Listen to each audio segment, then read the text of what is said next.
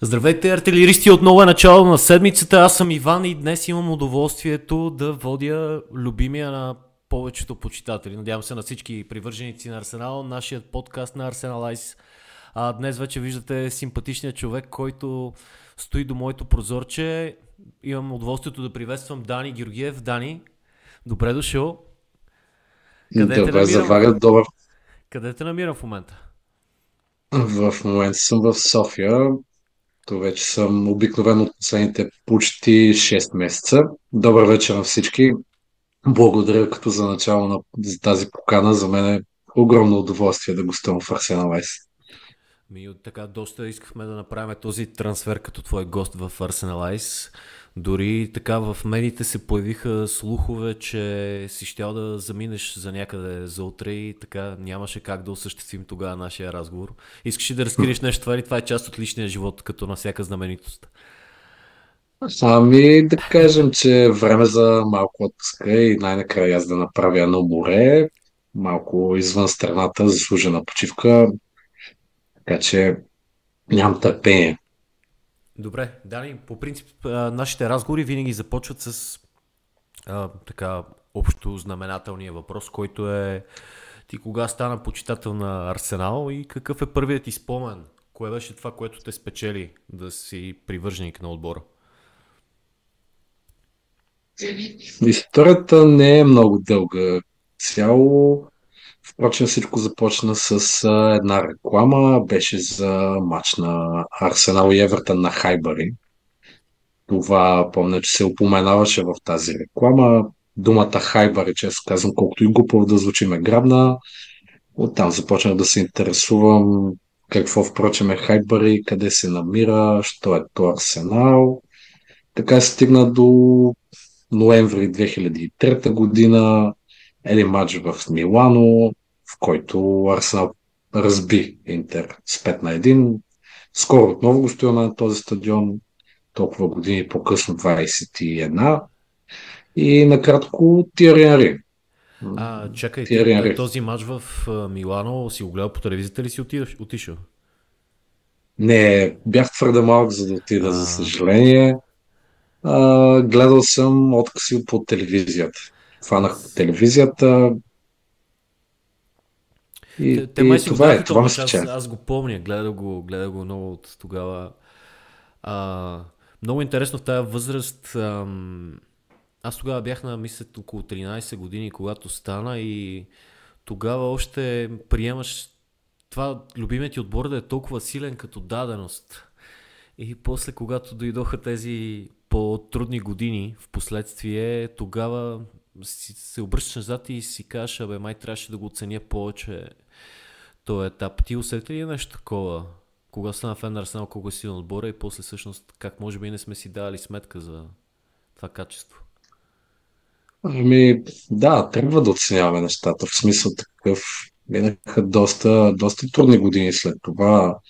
Всички знаем изплащането на стадиона, преместването, напускането на ключови играчи, които влязоха в така, по-напреднала възраст от а, футболната си кариера.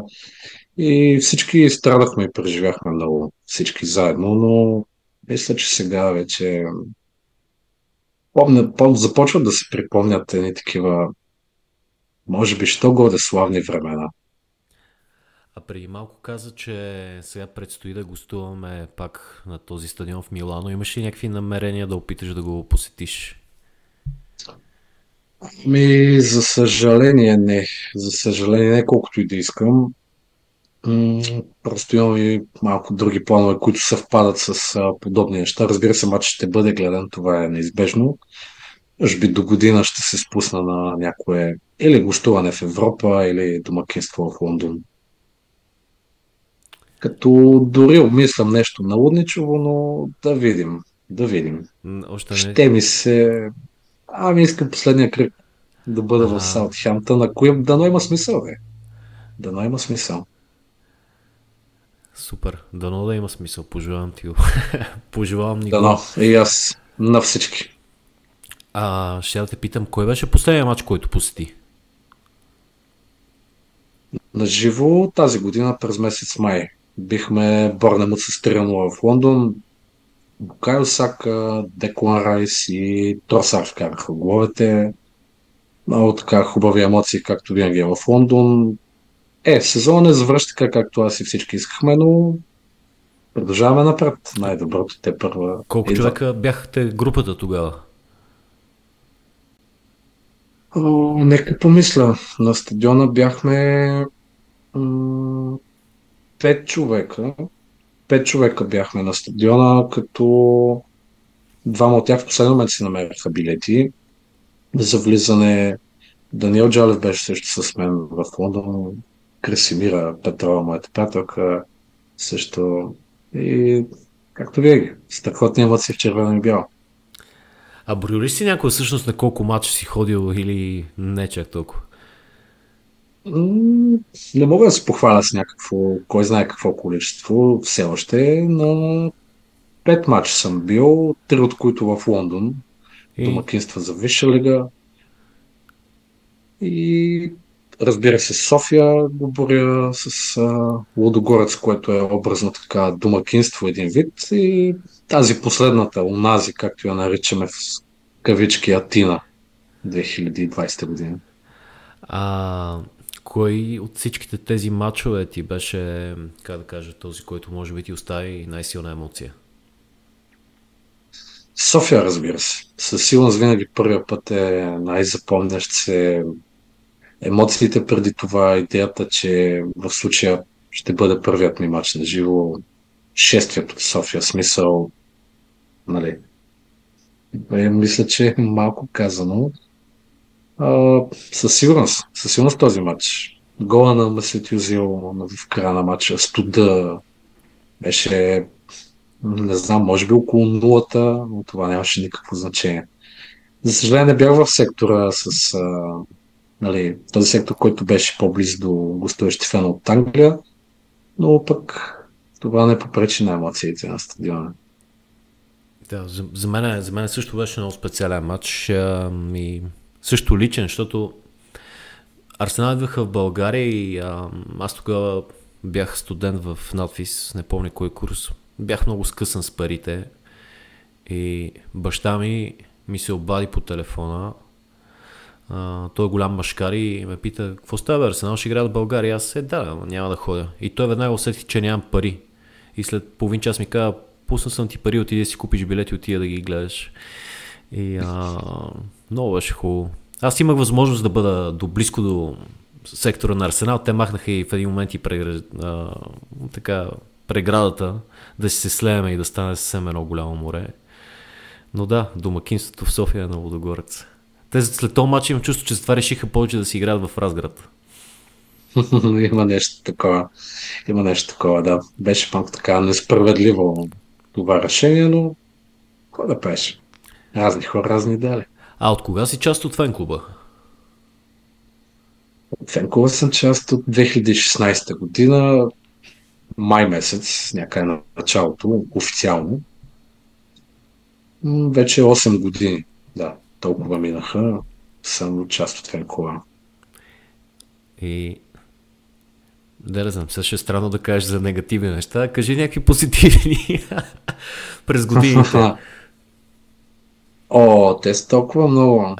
Това е м- едно страхотно преживяване. Това е едно пътуване, което яхваш се и се забавляваш. В смисъл, за начало приятелствата, емоциите, сбирките, има с кого да обсъдиш. Не само организацията, не само клуба, а и покрай самите приятелства, които създаваш. Отиваме и на разговори така, извън футбола, извън, извън строя, така да кажем.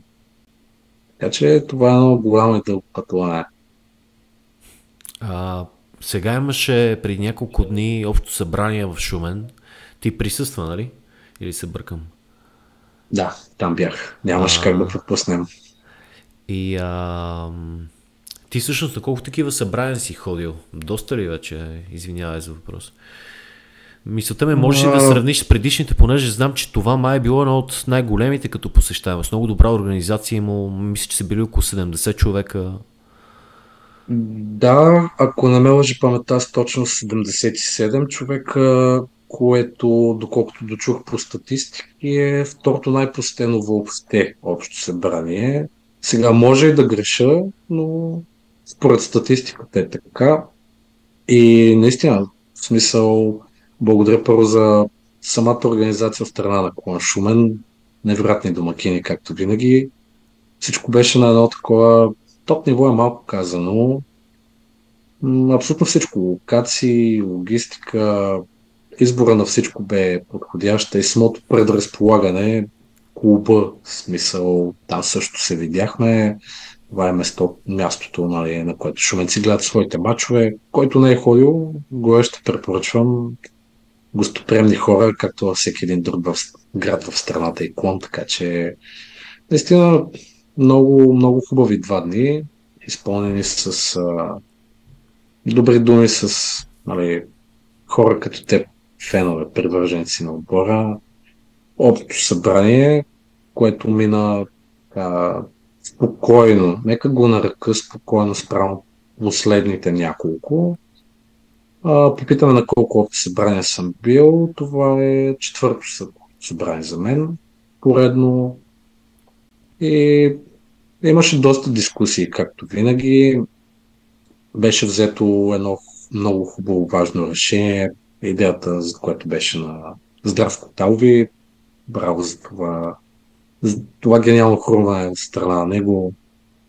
То скоро ще бъде пуснат и нали, от самият протокол, където привържениците да прочитат от а, първа ръка, така да кажем, за всичко случило се в Шумен, за тези особено, които не можаха да присъстват по една или друга причина. И така, продължаваме напред, както обичам наистина да казвам. Най-вероятно ще го кажа поне още два или три пъти от тук до края. Страхотно, страхотно преживяване беше Шумен тези два дни. А, добре, а, такъв въпрос. Той до някъде може да се каже, че е труден, но Ясно е, че подкаста ни генерално се слуша от привърженици на Арсенал, доста голяма част от тях дори са в фен клуба, но за, да кажем привърженик на Арсенал, който така е решил да, да изслуша един такъв епизод, какво би могъл да му кажеш ам, за фен клуба и изобщо за едно такова общо събрание, какво, какви точно решения се взимат, как би го обяснил по някакъв начин с твои думи, без да си максимално формален? Ами, какво да ти кажа, наистина, може би, да, от една страна трябва да си там да го усетиш, но ако мога да го така препратя, то би било от рода на ела, забавлявай се, виж колко е готино, защото ще откриеш самишленици, както казах. В смисъл, да не кажа голяма дума, но семейство. Наистина, чувствам го като второ семейство. Така че емоциите по мачове, нали, когато Арсенал вкара гол, като той е срещу Леста, хипотетичен пример в добавеното време и тогава за миг може е така да спреш, да се огледаш и да си кажеш, еха човек, еба си яко там. Колко човека и, бяхте но... тогава там, а, в място, когато гледахте матча? Всичките от събранието останахте ли, за да се насладите на този гол срещу Лестър в края на матча? Ами да, без изключения. Без изключения всички бяхме в а, заведението. То бе препълнено червени, жълти, сини тейски на Арсенал. А, буквално изпълнихме заведението. По едно време персонала едва смогваше с поръчките, което е хубаво, хубаво към страна на нали, гледна точка, че е имало много хора, за което отново поздравление. А, аз съм го виждал това място и то е много, не знам, бих казал едно от най-уютните, според мен, за гледане на матчове. А то, понеже цялото изглежда се много красено само с неща на Арсенал, то функционира ли си отделно като през седмицата за нормални, как да кажа, потребители? Или там се знае, че си ходят само в на Арсенал? Ами, доколкото знам, работ... заведението работи през седмицата. Той е спортен бар, доколкото така успях да забележа. Има всякакви шалове вътре, тениски, така доста големи антики дори има закачени по стените, тенски на Рейнджърс, на Хибърниан дори видях. А, много хубаво място, но да, иначе самите локални фенове в Шумен, те се събират на тяхното място. Както казах, клуба, дори ако не ме лъжи паметта, адресът е Софийско шосе номер 12, така че ако някой има път към Шумен в матчдей, без да пита, без да казва, нека отиде там. Ще бъде прият много така позитивно. А как го видя този матч ти? В смисъл, през твоя поглед, успя ли да го изгледаш концентрирано, а, сравнително? А... Да, нека кажем, да. Аз няма те лъжа, гледах хайлайтс разширени. А, на, работех по това време, не успя да го гледам. А, и като проверих резултата първото по време, казах, е, сигурно победа. Очаквах нещата да отидат към а, 5 на 0 дори. И изведнъж поглеждам към 70-та минута и виждам, че е станало 2 на 2. А, според теб къде бяха проблемите в този матч за Арсенал, че да се стигна до такова развитие? Ами, да започна с това, че за мен е символика, тъй като за втори пореден път бием Лестър в онлайн с този резултат, който не бе постигнат никак лесно, в смисъл такъв до 2 на 0, както казваш, всичко точно. Обаче, не бих казал, че свалихме толкова темпото, колкото според мен Артета и Арсенал пестят сили. Mm-hmm. А, знаем, знаем за тези прословути рейдове на Манчестър Сити в края на всеки един сезон. И надявам се, надявам се това да е някакво, как да ти кажа, предварително нагласено да се сваля темпото в даден, даден момент, за да се пестят сили. Знаеш, сезонът е дълъг. Сега и с новия формат на Шампионска лига мачовете стават още по-нагъсто. Има два вътрешни турнира в допълнение. Един вече започна. И бих искал да отдам и заслуженото на вратарът на Лестър. В смисъл, извинявам се към привържениците на Лестър, не помня името на, на момчето, помня, че е дъчанин, мача на живота си. В смисъл, няма пропуски, има спасявания на вратаря. Уникален. Уникален. Наистина трябва да му се отдаде. И Кай Хаверц и Тросар, преди да вкараме за 3-4 на 2, просто уникални такива пропуски, но както казах, спасявания по-скоро на вратаря. За Мартинели много се говорише, че от известно време така метафорично казано дръпнал ръчната. Обаче този матч сякаш почнахме да виждаме малко от неговото старото лице, та остротата, която имаше. Твоето мнение, какво е за това? Лично аз много харесвам Мартинели. Може би има някои неща, които още трябва да подобри, както винаги. Има, винаги има още, още какво да вървиш и на къде да отиваш. А, беше влязъл в серия от 17 поредни мача без гол или асистенция. За радост тази статистика се промени. А, хубав гол тип а, без да мисли много. Не погледна кой знае къде е нали, вратата. Хубав насочен удар. Проблема на Мартинели е, който сигурно не само аз, но и всички са забелязали, е, че в даден момент и забива си главата в земята и не поглежда и греши даден пас, но последния мач беше страхотен. Дано продължава така. Сега между другото, по... Сега, между другото по... погледнах а... за статистиката на вратаря на Лестър за Мац Хермансен. Оценката, която е получил в Софа скоро е 9,7 от 10, което е най-високата на терена. 9,7 е почти перфектния резултат. Вау! А, за сравнение, чакай да го вия дали така остана, но Кол Палмър, след като вкара 4 гола, а, мисля, че имаше оценка, перфектната оценка 10, не знам ли това се е запазил. Да, Кол Палмър е с 10. Така че той едва ли не представянето ме е било малко, съвсем малко по-слабо от това на Кол Палмър, който успя да вкара 4 гола. Може да се каже, че е направил обратното, че е спасил 400% гола със сигурност. Абсолютно да. Малко след това наистина видях и за Кол Палмър. Но да, тъй като, как да кажа, а, това, което каза дали Арсенал свалили темпото в даден момент от матча, най-вероятно го направиха, но с оглед това да спастят сили, както вече казах. Мина една седмица от матча с Сити, обаче пък ми се иска да си кажем и нещо за това. А... Първо няма как да не започна от а... червения картон. Ти как... Какво е мнението ти за тази ситуация? А, гледах една статистика, че Майкъл Оливър е показал най-много червени картони от всички отбори на Арсенал. 7 повече от на всеки друг. А, първоначално остана едно усещане, че наистина може би имал време да реагира Трусар след сигнала, а и вече Арсенал преди два кръга е пострадал от такова нещо, така че трябва да бъдат крайно внимателни.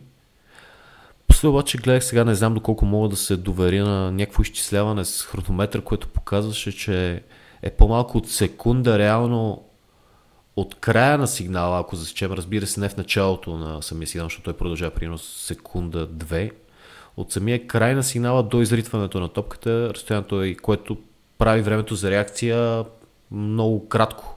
Такова, с което едва ли не разполагат пилотите в формула. Така че ти как мислиш за това нещо? Ами, както нашумя информацията в социалните мрежи и ни припомни един така болезнен спомен, в който през миналия сезон Ковачич не беше изгонен, а трябваше да бъде, разбира се. И тогава рефера не е искал в кавички да да проваля матча едва ли не. Пък а, сега излиза друго яче. А, това, което казваш за една секунда, да, мисля, че е 1,1 или нещо от този сорт, а, което е просто... Да, новите правила за изритването на топката, м- често казано, хем ги разбирам, хем не. Или толкова ги разбирам, нека нека по един същи начин за всички, за да е честно. А, двата червени картона през този сезон са за мен са потрясаващи. Просто потрясаващи. Особено за първия на Декларай с Брайтън. Все още не промявам. Някакви хора да разни техни мнения в Фейсбук, в Twitter, които се опитват да убедят феновете на Арсенал, че това е правилен втори жълт картон, ми извинявай, ама не мога да приема подобно нещо. Аз съм радостен от този резултат. Радостен в смисъл такъв а, заради начина по който Манчестър Сити празнува в карането на втория гол. Да, Арсенал сега някой ще каже пич, виж как Арсенал празнуват след гол в добавеното време. Ами да, но самата идея как а, Бора на Манчестър Сити го направи този път на свой собствен терен, като шампион, след 4 поредни титли срещу червен картон нали, на Арсенал. Това е достатъчно за мен да знам, че този отбор върви по един правилен път, всичко се случва и знам, че Мики Артета и компания са влезли така доста надълбоко в сънищата на не само на Манчестър Сити, някъде може би по-нагоре. Нали дори сферите на теориите да е, със сигурност има нещо такова.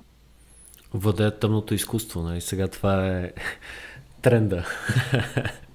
Абсолютно, да.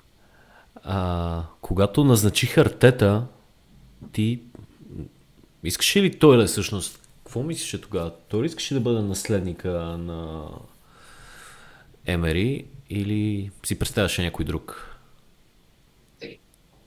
Ами, помня, че по това време беше спряган и Масимиляно Але. Да. А, беше ясно, че заради езиковата бариера най-вероятно няма да се случат нещата. А, без да ги обиждам, но малко италянци владеят английски язик. То дори то нали, добър, появи се, разбира се, предполагам, че да го измислил почитател на Арсенал, но тази смешка, че Алегри специално е се научил на едно изречение в английски язик, да може да откаже на Арсенал да каже no. а, да. ами, не бяха много, много треньорите по това време, които, които искаха да се награбят с тази задача.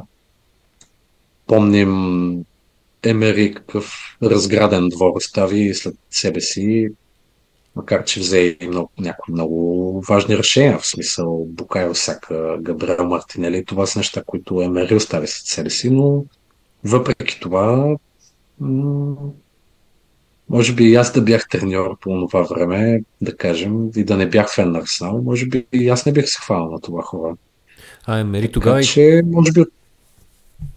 Да кажа, че Емери тогава много се оплакваше, че той не взимал решенията за трансферите, че той не е искал, примерно, ПП, а, искаше да вземе Заха, да кажем. И а, в смисъл, беше недоволен нещо, че, че не е той човек, който, казва последната дума и мисля, че това нещо също се промени по някакъв начин в Арсенал. Артета май го изискаше от момента, в който стана част обратно за втори път от отбора, вече като менеджер, да тежи неговото решение. Ти чува ли си за нещо такова? Помниш и това за Емери? Ами, да, но помня как а, си оттегли новия договор към Аран Рамзи. Това също го помня, защото Аран Рамзи така дълго време след а, напускането на Арсенал всички знам кариерата му как тече след това, колко главоломно тръгна надолу. В Ювентус беше твърда резерва, отиде дори в Глазго Рейнджърс, изпусна дуспа на, на финала на Лига Европа за тях. А, е, Ран Рамзи каза точно това в това си интервю, че Емери му предложил договор и няколко дни, ако не се лъжа, по-късно го оттеглил.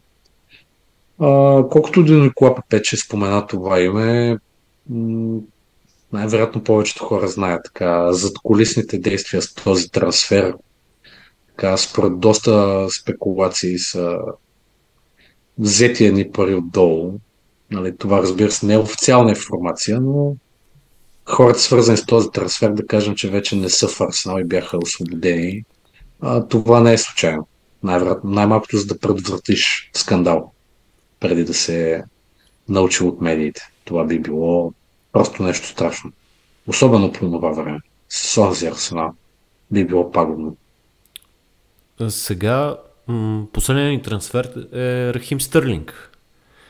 Ам, ти как, как виждаш такъв тип попълнение в Арсенал? Какво е усещането ти за Стърлинг? И дали може да, да стане част от колектива? Дали го носи това в себе си и да даде допълнителни альтернативи, когато има нужда? Напълно възможно е. Артета доказа, че може да се живява трупове от Челси, както ги наричаме. И Кай Хаверц и Жоржино бяха така, нали, едва ли не в началото странни решения, но после се оказа, че това са много добри трансфери. И двамата дават много така за клуба. Хайде, Жоржио не играе чак толкова колкото Хаверц, но когато, когато играе се представя на ниво. По-добро от Томас Партей за мен, който най-вероятно е в последния си сезон в клуба.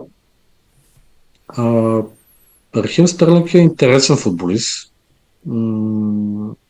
ако не греша, фен на Манчестър Юнайтед. Е странното, че в края си игра за Ливърпул, Манчестър Сити, Челси, сега е Арсенал.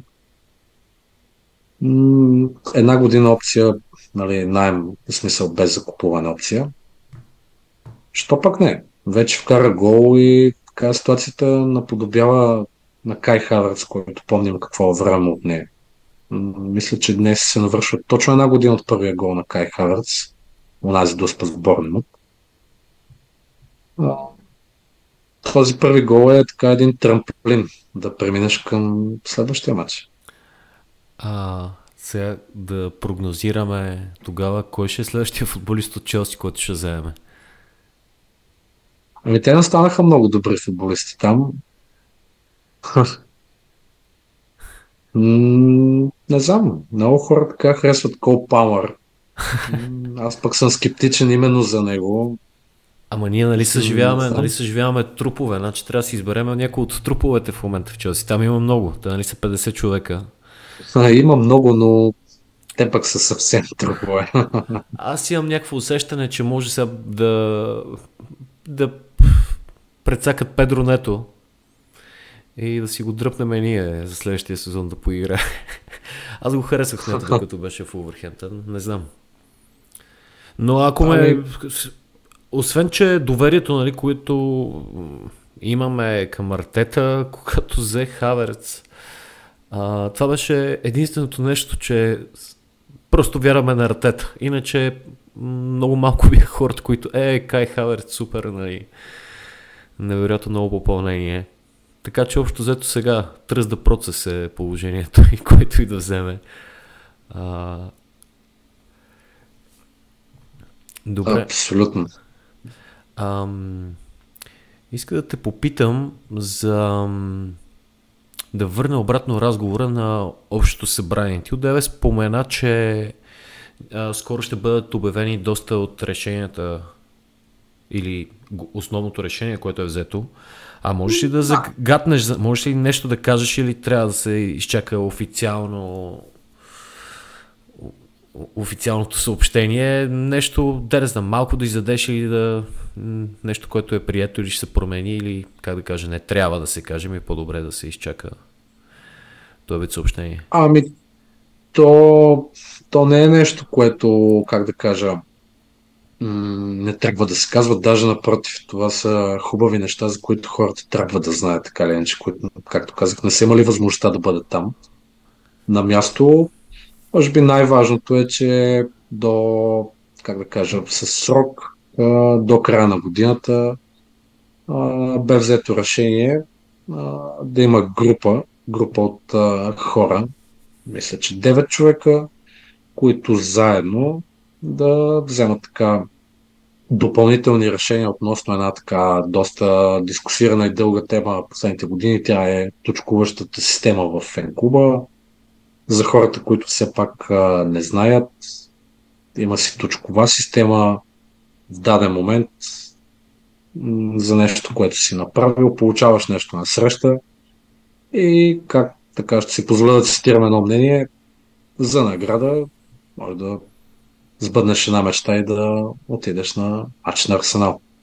Тази група ще комуникира помежду си до края на тази календарна година и тяхната задача е да, да, да изгладят, ако мога да се изразя нещата относно самата точкуваща система и промяната в тази насока, по какъв начин да се дават точки. Разбира се, това е съгласувано с самият управителен съвет на Сдружението. Едните гласуват доверие на другите. Както казах, идеята на Фенкова. Много хора на едно място мислят заедно. Това е най-важното нещо, което се случи. Бе също така споделено това, че съвсем скоро, в скорошен етап, ще има някакъв шанс, най-вероятно казвам шанс, да се посещават матчове на женски отбор на Арсенал. Това също бе новина. Нали, както казах, шанс е. Не се знае все още кога, точно по какъв начин, как и дали въобще, но от Арсенал така има подобна идея и вече и за фенкуловете. Супер, супер.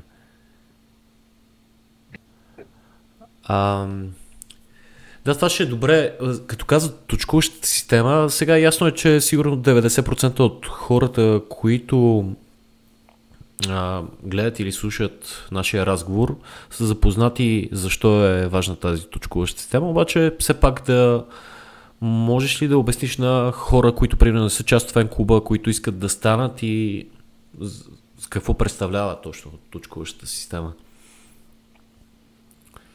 Ами, тя е на база твоята активност, така да я наречем директно. Има доста начини, който, нали, по които да се а, възползваш във възможно най-добрия смисъл казано от това да получиш точка или повече. А, давам пример. фен срещи, също така благотворителните инициативи. Има толкова много такива страхотни изяви в клоновете. Кръводаряванията в Стара Загора, Варна отчасти, София, разбира се. Плюшено ме, че това са нали, във Варна и в град Шумен, също така и в Велико Търново. Това са все тип благотворителни инициативи, в които нали, най-малкото нещо, което е, нали, точката тук е оставане на страни, най-малкото, което е, ти участваш в нещо, което е вече извън футбола. Тук е, нали, както е логото и кампанията на кръводарянето Be a Gunner, Be a Giver. Да. Така че по много начини можеш да го направиш и тук е така отварям една голяма скоба. Има много случаи, в които нали, хайде да не са много, но има случаи, в които хора отиват на матч без нито една точка. Така че за това е измислено и просто трябват още малко реформи по тези показатели, както казах, до края на календарната година. Хората, които са ангажирани с това, те, те ще се справят и всичко ще бъде още по, по-добре за напред. А всъщност ти каза, че от 2016 си част от фенклуба, нали така? Абсолютно. Обаче аз знам, че ти си преминал през няколко, как да кажа, различни клонове. А, къде? Кой е, беше да. всъщност първия клон, в който беше част? Клон Варна. Клон, клон Варна. Варна. И след това Абсолютно. голяма трансферна сума и те откупиха след това в София, нали така? След това в София, да. В София така е по, по-сложна дори историята, въпреки че беше само за една календарна година, нали, като представител. А, понякога нещата не се случват така, както искаш. Нека така го, го кажа. А, планът беше така в по-ранен етап да се преместя в а, столицата. За съжаление, поради така лични причини не се случи по този начин. Следователно, дори като се замисля, не бих го, как да кажа, не мога да смятам, че съм бил дори представител за Клон София, тъй като за съжаление нямах тази възможност да оставя нещо, колкото и да исках. Както казах, по една или друга причина, но във Варна, както ти спомена, там беше първият ми клон. Сега съм в клон Враца, който беше основан в края на миналата година през декември. След така едни дългогодишни усилия нещо такова да се случи. Така че благодаря на момчетата и от Враца, и от а, Варна, и от София, от всички градове за всичко, което правят. Страхотни сте. А родом от къде си? Враца. От Аз съм родом от град Враца. А как попадаш в, във Варна? Учиш там или? Ами, живях почти да. 10 години. Wow. Почти 10 години живях там. Мечта ми беше да живея на морето. И сега, сега съм в София. Аз... Хем съм по-близо до Враца. В момента се водя, между другото, по време адрес, че съм във Враца, понеже преди години, преди повече от 6 години бях част от театъра там, даже 8 мисля, че станаха. И wow. трябваше да си а, променя там местоживеенето и още не съм го оправил. И се водя Врачанин. Значи ти си врачанин. Макар и кандидатствам, да, да, да се прехвърля аз в Клон Враца. А, имам една интересна история а, за как си взимаш фанелка от а, втора употреба. Можеш ли да я разкажеш, да разкажеш тази история? Как си взимаш фанелка на фен клуба, нали така? От втора употреба. Да, тя е буквално втора употреба, да, тениската. В смисъл, от втора употреба. И на кого е била тази тениска? тениската. А, тениската е на господин Валери. Да. Страхотен човек, с който имах така удоволствие да се запозная най-накрая тази година на живо в а, София, покрай 20-я рожден ден, който се проведе. Тенската си я закупих 2015 година, което е същата година, в която се тръгнах от Враца. Някъде на пролет я закупих. В така единствения все още така голям магазин, приличащ на минимал. Тогава имаше втора потреба в него. И доста често ходех там, защото имам така солидни попълнения тенски на Арсенал. толкова запазени, колко, оригинални. Колко си взел горе-долу там? Колко тениски такива находки си намирал? да. И в поредното ходене до този магазин паднах на една тениска цвят бордо с бели ръкави. Грабнал е това, че пише arsenalbulgaria.com емблемата на фен клуба, която вече бях разпознавал. И веднага се взех. На гърба е роже. Това е изписано. Оказа се, че, както каза господин Валер, както го наричам, е играл с тази тениска за форумния отбор. Сега не мога да ти кажа как се озовава във Враца, но тази тениска е вкъщи и си я пазя. Обличана е веднъж. Нямам намерение да я обличам. Не заради друга, защото искам да я запазя в това състояние, в което съм я, съм я взел. А от този магазин за втора употреба и на кои футболисти се намирал на ходки екипи на Арсенал? А, имаме една тениска на Денис Беркамп, сезон 9798. Със сега? Домакинска. 9798. А, шампионския сезон, дубъл сезон дори. И една тениска на Тиари от а, последния сезон на Хайбари. Бордото на Да, Най. да. Много красива тениска. Абсолютно. Любимата ми домакинска фланелка. Ам... Ще да те попитам от деве още си, като си говорихме за това, че мисля, че Арсенал тази година ще се още по-голяма значима, как да кажа, конкуренция на Манчестър Сити.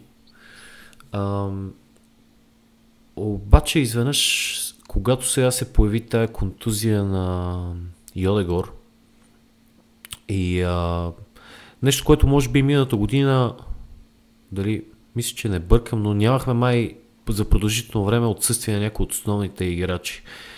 А, бяхме го забравили това като усещане. Според теб отбора уязвим ли е, зависим ли е от и аз до някъде мисля, че има, да, някои, които, както виждаме, Артета не ротира толкова много за първенство от определени играчи и тяхното здраве.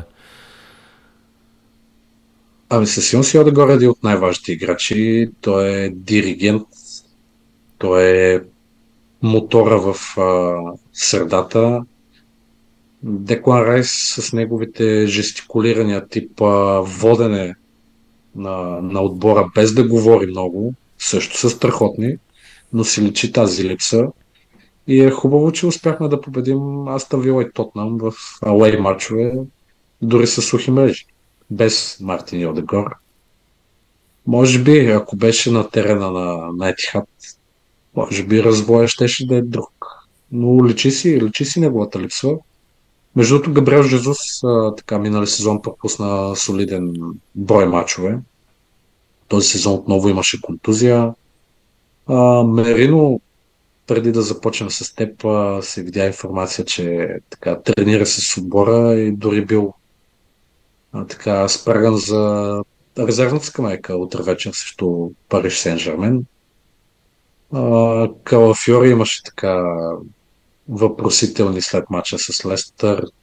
Видя се така, точно когато свърши мача, че има така някакви болешки, напускайки терена.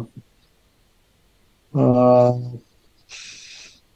за Мартин отгоре нямам търпение да се върне. Просто наистина много липсва този играч. Погледа му, разбирането, неговите подавания и как разкъсва просто противниковата отбрана не са много добри. Другите футболисти в Англия, които могат това, което той беше. А в тази среща за втори пореден матч, мисля, след този с Сити, започват от ляво Калафиори и от ясно Тимбър. Аз до някъде бих ги назовал, че и двамата може да се нарече, че са нови попълнения, тъй като Тимбър пропусна целия минал сезон. Как да. се струват така, разглеждайки ги като нови попълнения, бивайки част от Арсенал? Разбира се, Тимбър една година е с тези играчи и се предполага да се е адаптирал по-бързо. Би ли се нагръбил да ги сравниш или Мислиш ли, че така може да изглежда отбора? Въпреки, че е ясно, че особено може би навсякъде. Не, обаче феновете на Арсенал България имат доста голяма слабост към Бени Бланко а, и едва ли ще искат да го виждат да търка пейката. Но ти какво мислиш по въпроса с Тимбър и Калафиори? Ами, специално пък за Тимбър пускаш го ляв бек, играе ляв бек. Пускаш го десен бек, играе десен бек. Ако нямам чувство, че може да го пуснеш на двете позиции в центъра на защитата, пак ще играе на ниво, каквото трябва да бъде. Така че Тимбър е поливалентен играч, който, който не допуска много грешки в а, отбрана. За съжаление сещам за Зинченко, колкото и да го харесвам като личност, като характер. Така, разликата между двамата изглежда, давам пример, така, доста солидна. И дори Зинченко в момента, доколкото знам, все още продължава да лекува травма. Такихирото място също. Нали, да се върнат скоро, за да има Както още повече избор. Така. Тирни също така, който също да, е... Киран Тирни. Мисля, че въпреки, че резерва пак си е слабост на повечето от футболистите, от привържениците на Арсенал. Така е, но за съжаление дори забравих за него. Колкото и... Да. Не съм забравил, разбира се, за това, което той правеше. Това няма как да го забравя, но а, заради тази контузия той остана в Арсенал най-вероятно. Ако не беше тя, той щеше да напусне още лято. Гола Фьори, каквото и да каже е малко. Гола срещу Манчестър Сити и всичко спира. А имаше ли вина според теб за пък за гола на Халанд, че така го размина Савиньо с първото си докостване го остави на толкова голямо разстояние от себе си?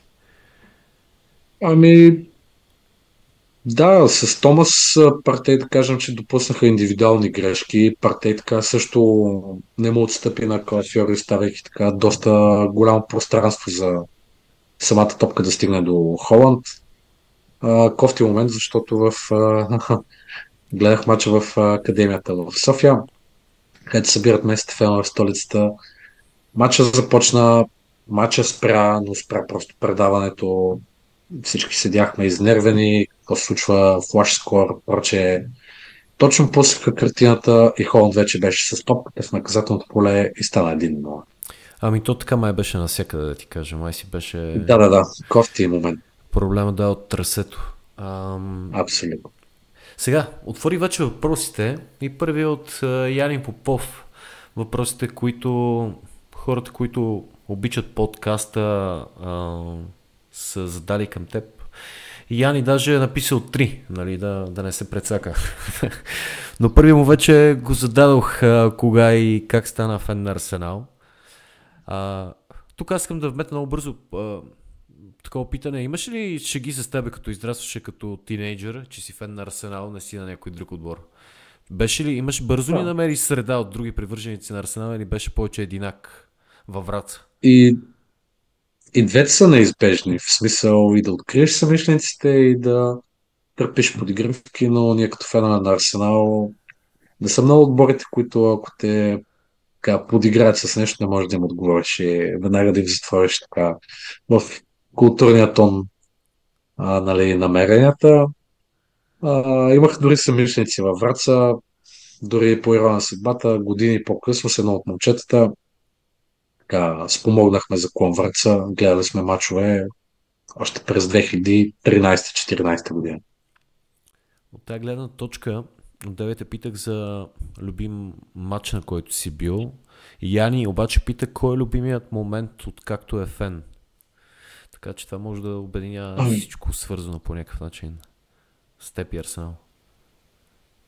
Ако говорим за играта на терена, като изключим всичко свързано с непобедимите, разбира се, на първо място е най-вероятно гола на Тиари Анри срещу Лиц. Нали, казвам го, слагам го дори пред а, купите, които спечелихме в последствие. Този гол, може би, ми е така един от любимите моменти след непобедимите. Написана история за филм. Да, Беше... него бих избрал. Хубаво си беше да имаш Анари в отбора. Добре, следващия въпрос на Яни е, ако има един играч с когото би искал да проведеш разговор, кого би избрал? Ами, аз съм имал двама такива като мечта. Едната заедно с а, така момчетата от Клон Варна заедно я направихме. Беше Иан Райт. Имахме удоволствието да го засечем в Атина. Не за много време, но обърна ни внимание човека. Снимки, разменени думи, другия много. Тиери Енри. Няма как просто, когато това ти е човек, заради когото едва ли не си станал фен на отбора. Не е човека, който иска да срещнеш. По на съдбата съм учил и френски язик. Фен? Не, не мога да кажа, че съм фен на национален отбор, който и да е, дори нашия. Но да кажем, че съм симпатизант на френския национален отбор. По същата причина, непобедимите и френската така делегация в Арсенал тогава.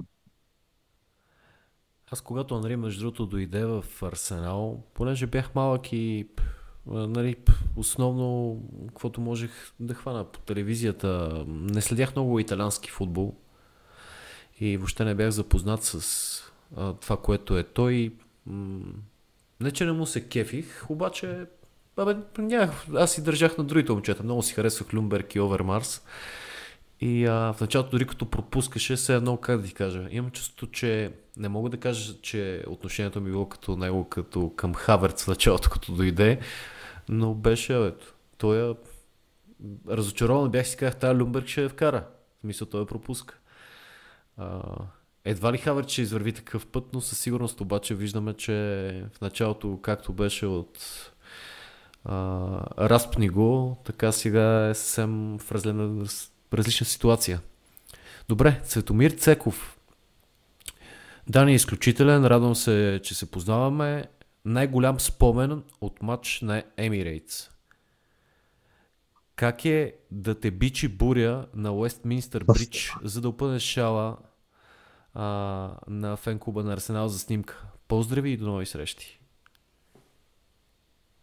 А, да, това е един много хубав спомен за дъжда на, на този мост в Лондон. Това беше първото ми ходене изцяло въобще в града за матч на Арсенал. Матчът беше така лош резултат. Борихме се за зона Шампионска лига един на един с Брайтън.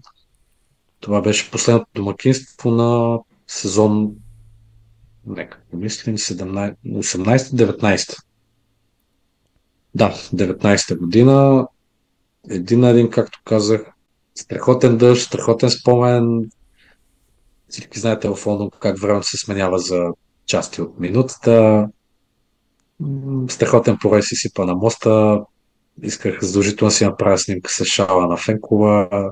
Благодаря ти отново, Цецо, че ми я направи тази снимка.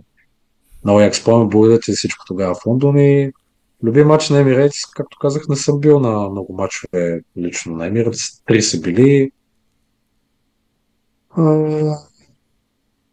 Отново ще, ще заложа на сигурното. Първия гол, който съм видял на стадиона, именно Обама Янг и Дуспът също Брайтън. Може би това ми е любимия. Въпреки несериозното отношение на Обама Янг след това. Справо. следващия човек е Лъчо Левтеров. Поздрав... а, поздравления за Дани. Да разкаже кои са му три любими спомена от клон Варна. Дори да кажеш един, сигурно... Не, той ще се разсърди сигурно, но пък... Явно чак три да иска. Три...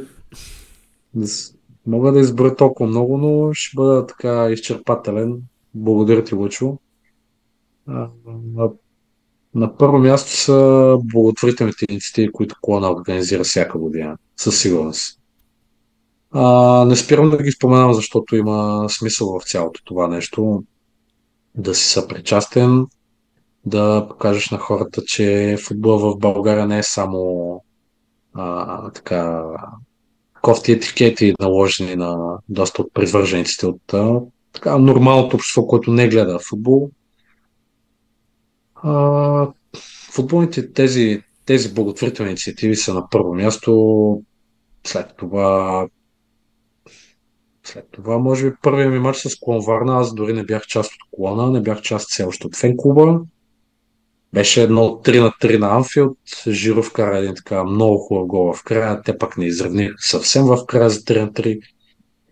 И проучих нещата, къде се събира местния клон. Нали, да видя обстановката, дали все пак би ми допаднало. Но въобще не се замислях в последствие и станах част от фенкова от Клон Варна, както казах. Трети 2020 година бих сложил от към матч поне.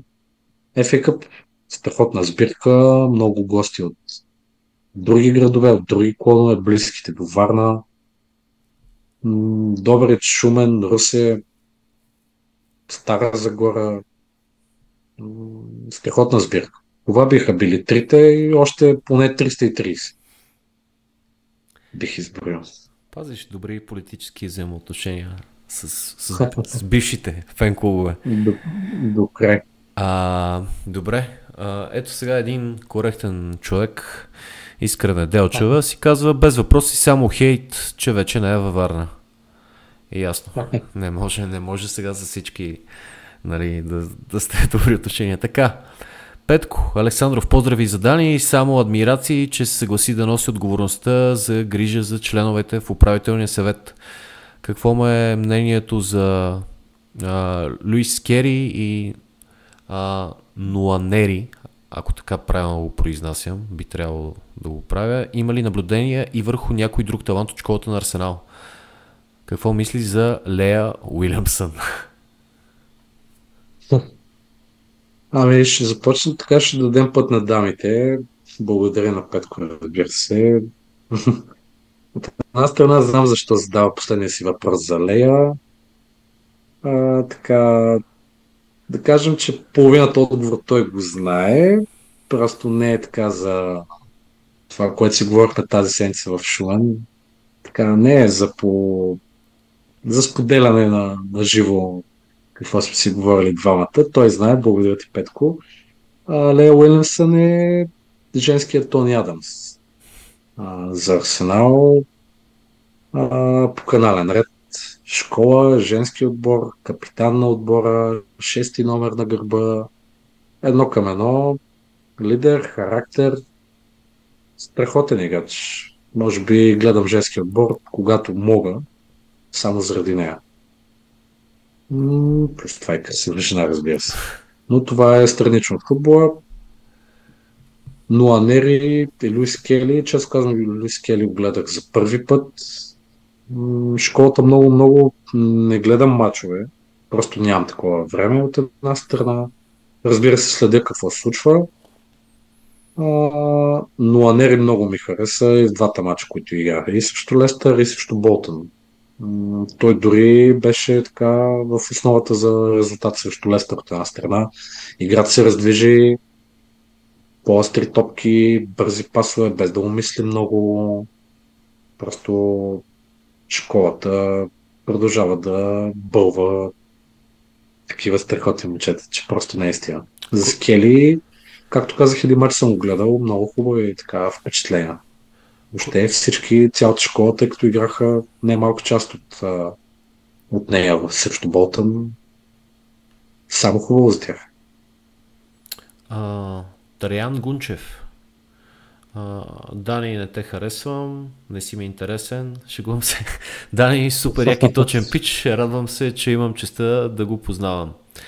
Така, след това, м- Бай Сума, чието име не знам, а, бих се радвал, ако може да го напише, понеже и друг път съм го засичал, да го напише в коментар, за да мога и като, ако иска да е, лично да се обръщам към него име. Въпрос към Дани. Моето мнение е, че след 2 на 0 Арсенал спряха да натискат и за това допуснахме изравняването.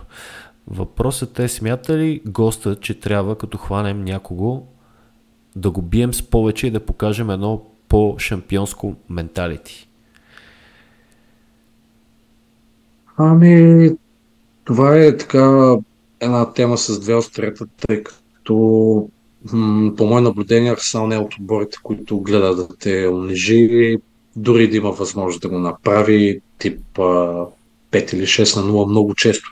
Да, минали сезон имаше няколко поредни матча, в които така записахме един много готин рекорд. Така, доста солиден брой голове, с 5 по 6 на 0 качвахме всичко, където мърда общо взето.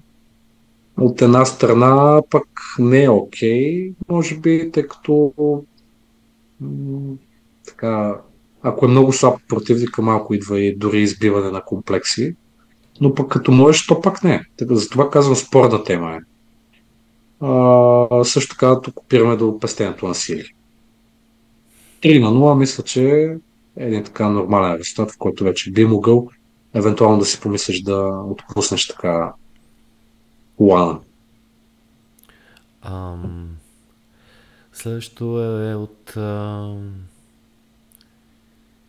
Емил Шопов. Поздрави, Дани, машина си, какво и кой го е привлякал в фен клуба?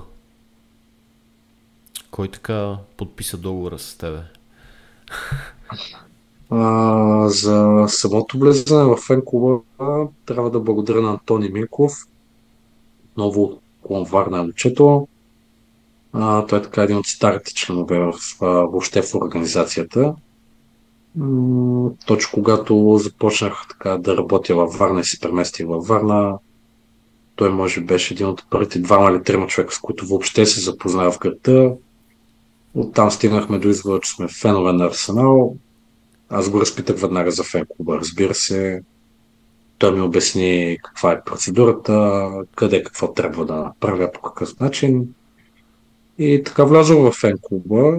Иначе за фен клуба знам от може би 2008-2009 година онзи стария форум имаше Клок Кент, сега отново го има, беше върнат, тъй като дълго време го нямаше, нали, часовника отстрани, който показва времето. Къде 2008-2009 разбрах за фен клуба и нямах търпение да се присъединя. И в морската столица сбъднах и, и това желание. Благодаря на него. Добре, Ники Иванов, голям пич. Дани, кой предпочиташ за плеймейкър? Месут Юзил, Фабрегас или Йодегор? Без да се замислям Йодегор. Без да се замислям Йодегор, защото... А, защо? А ако сложиме Беркамп? е, разбира се, Беркамп, колкото и да харесвам пък Йодегор, но когато от тези тримата ще кажа Йодегор и ще го кажа, защото изпъква се едни гърди напред а, по отношение хладнокръвието. Мисля, че Фабрегас и Месит Юзил в дадени матчове нямаха нали, ако щеш, такива топки го наречи като Мартин Йонега, колкото и да бяха, разбира се, също лидери, особено Фабрегас. А, пък до Месут Юзил футбол в момента става все по-бърз, без да го омалуважавам. Страхотен беше в така прайм Юзил периода. Но може би неговия футбол не би вирал чак толкова като този на Фабрегас и Одегор, който изпълняват. Въпреки, че пък на Юзил, на Юзил по-късно, не по-късно, да, но беше по-късно в Арсенал от Фабрегас. Абсолютно, да, въпреки, че беше по-късно. Просто да. по-различен стил. Наскоро пак ми много често ми се появят едни клипчета с отиграване на Юзил и точно в Арсенал. Ами много е впечатляващо. Сега, ясно е как се раздели накрая всичката критика, това, че не иска да влезе, влиза в защита, обаче Абе, беше целунат от гения този човек, не знам. Много... А и това, за което казваме за хладнокръвието, аз да ти кажа, пък мисля, че Месут си има най-голямо хладнокръвие. Не само заради гола срещу Лодогорец, нали. Това трябва толкова да не ти пука, което му пречи в други мачове, когато всички го съдиха, че все едно не му пукаше, нали, толкова много не гореше в мача. Гледах му и други отигравания, откъде връща топката с петал от, от линията да... А, той играеше някаква друга игра, на, все на малки вратички понякога имам чувството. Понеже всички сме играли с такива хора, които имат много качества на малки вратички, обаче ги мързи да се връщат. А, така, yeah. Митко Николов Митков, топ. Сега остава и да поразцъкаме във Врачанския Балкан на пролет. Така ще поемеш ли ангажимента да поразцъкаш из Балкана с Митко? Въпреки, Въпреки че се. Знам, че тогава се появяват много змии. Вярно ли е това във Врачанския Балкан? А, за съжаление, да. За съжаление, да, но пък се надявам в даден момент отново да има фен среща има в този гет.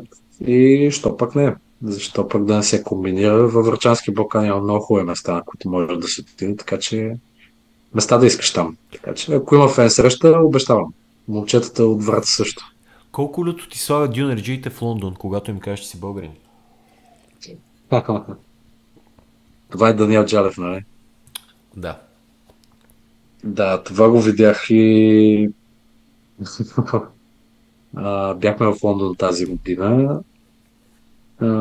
бяхме така отседнали доста, както казах, нали, за матч става въпрос. Бяхме в Лондон и бяхме отседнали в Арчвей. Този район и така малко по-нагоре от а, хотела имаше една дюднерджиница, която налазихме една от вечерите, а, при което момчетата, които правеха дюнерите, да разбрах, че сме някъде от Балканите и конкретно България. Само като казаха Комшо, откъде си? България. Еми, ние сме от Турция. Искаш ли люто? Искам люто. И нати люто сипаха един така голям черпак люто и така. А, да. Последният въпрос е от Боян Марков. Поздравленият, мой въпрос към Дани е да разкаже какво си спомня от гола на Николас Бентнер през 2010 година срещу Барселона. Заедно ли сте гледали а... този матч или? Да, толкова отдавна вече мина. Поздрави на те, Боби.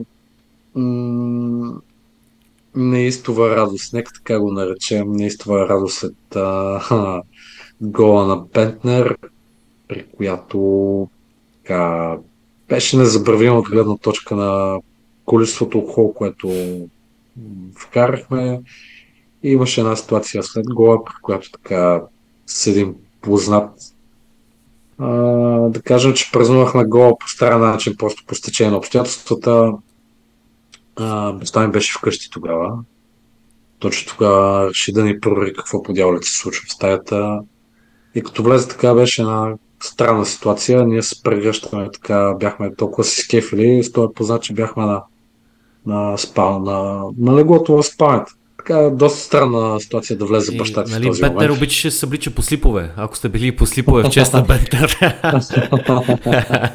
Люкбер също така имаше да. участие извън да. футбола, но класни.